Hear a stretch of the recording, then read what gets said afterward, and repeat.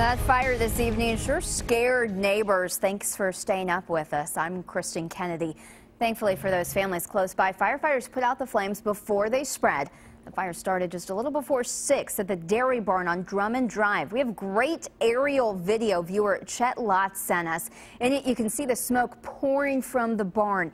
In our top story at 11, Garrett Wymer is talking to neighbors who live just yards away from the damage. You could see the heavy smoke for miles. The source was a dairy barn near Drummond Drive. But the fire also sparked some scary moments for folks who live here in a nearby neighborhood.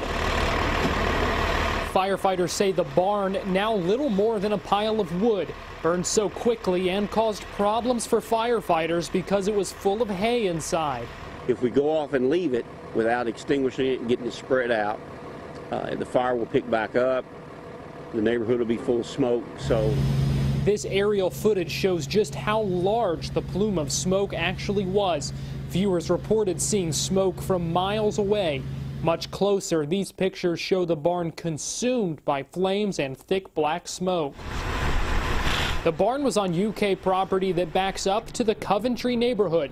One man who lives nearby says the heat from the fire was so strong he could feel it inside his house. The heat was intense and the smoke was really rolling. I was going to get, get a video of it. Then I said, man, big chunks of it were blowing into the yard and blowing onto the fence and catching it on fire. So I took the garden hose and just started spraying down the back of the house.